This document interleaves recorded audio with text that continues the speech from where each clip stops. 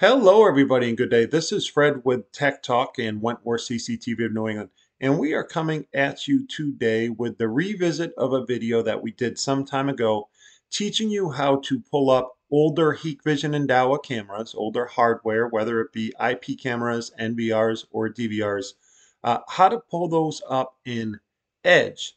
As we know, years ago when they were manufactured, uh, they were designed to work with Microsoft Explorer almost all of them, and they needed plugins and, and all that type of stuff. Um, as operating systems and security um, has advanced with you know Microsoft, um, that doesn't work anymore.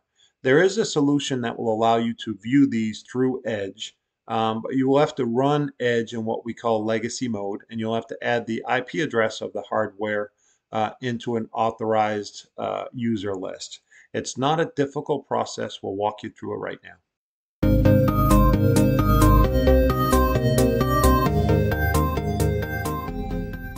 All right, what do you say? Let's get into the meat and potatoes. Before we do, you know the drill. There is a subscribe button in the bottom right hand corner of your screen. Please click that and subscribe to our channel if you have not yet done so. That way you can be uh, updated when we upload future content just like this. Also like the video if it's useful to you and as always leave comments. I just mentioned this video is based on some comments that we're receiving saying that legacy mode is not working um, with those older IP cameras intended for um, you know Microsoft Explorer. So the first thing we need to do is locate the camera, NVR, DVR, uh, the hardware that's on your network. Um, you'll use a search or configuration tool to do that.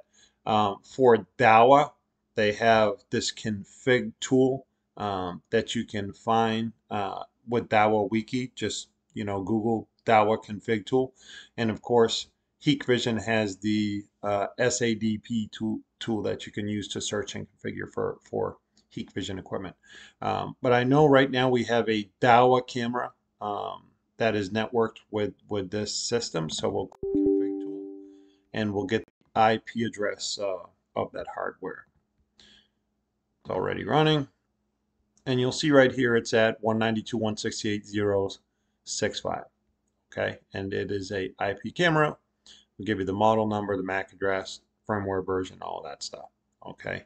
The cool thing with Dahua, if you've watched videos uh, with us before, you can actually click web here and it will pull up this camera uh, in a web browser. Um, so we'll pull it up in Edge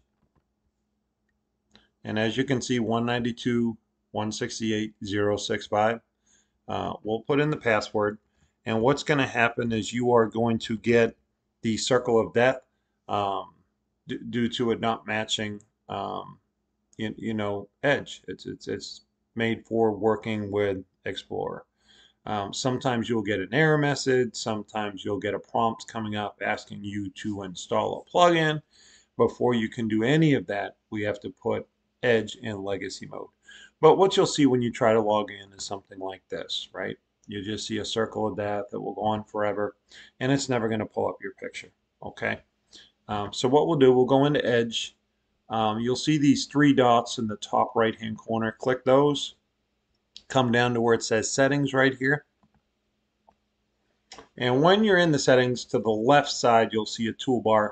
Um, in the middle is Default Browser okay we want to click default browser and it's going to ask do you want to allow sites to reload in internet explorer mode?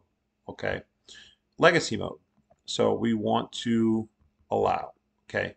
We want that to happen. It says for the setting changes to take effect restart your browser. Okay so we're going to hit restart right? We want to restart the browser and now what we can do is we can actually add the IP address on your network of that piece of hardware, okay? Whether it be the Hikvision camera, uh, the Dahua NVR or IP camera, um, whatever device you're trying to view in legacy mode, we want that IP address there. So we'll go back into the tool and get that IP address in because I already forgot it and it's 065.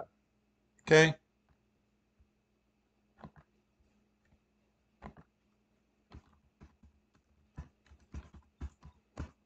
Just like that. So what we're going to do is we're going to highlight that and we're going to cut and paste it. Okay, you should know how to do that with your mouse. Just highlight and then cut, copy. We'll go back where our three dots are, settings, default browser. Now you'll see that that is enabled. So we're allowing Internet Explorer mode. We're going to add that camera's IP address. Okay, and we're going to hit add. And as you can see, it added it. Okay. So now when we refresh this, a bar should come up here on the top that says something to the effect of, you know, you're run, running in, in Explorer Legacy mode.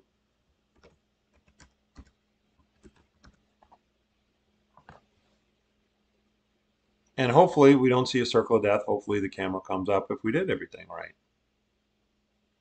That's it. Um, the camera is looking at the sky, unfortunately, um, but it is it's it's allowing you to pull it up, right? And um, you know that's what we want to do. We have made a video just like this for for following these steps to to do the same thing um, using Chrome and Firefox. There's links to those videos in the description of the video. But yeah, for some reason, people are having a hard time um, activating this legacy mode and pulling the camera up. It's not super, super advanced stuff. Um, you know, really it's just cut and pasting that IP address um, to the Explorer settings here. I'll show you one more time. Settings, default browser. Um, you just need to add the IP address. And of course, you want to make sure this is allowed. Um, once you do that, um, in this case, with this camera, it came right up. Um, if your camera is super old, um, you might get a screen that tells you you need to download a plugin. Okay, and I don't like those, but if you need to download the plugin for the firmware in your camera to work, the encoding to work with legacy mode, um, then in, install the plugin. The other thing is, as always, when you log into the camera, um, you'd want to make sure that it has the most up-to-date firmware okay? And usually you'll find that under system and go to auto maintain um, right here upgrade. Um, you can auto check uh, for for later firmware okay? Um, make sure that's checked can also manually check um, and it will tell you hey it's the latest version if there were a newer version um, it would give you the newer version. Um, and then you could update your, your camera um, to the latest firmware to make sure that it works with, you know, the, the proper browser. So that's it. Hopefully you enjoyed the video. As always, we'll see you in the field.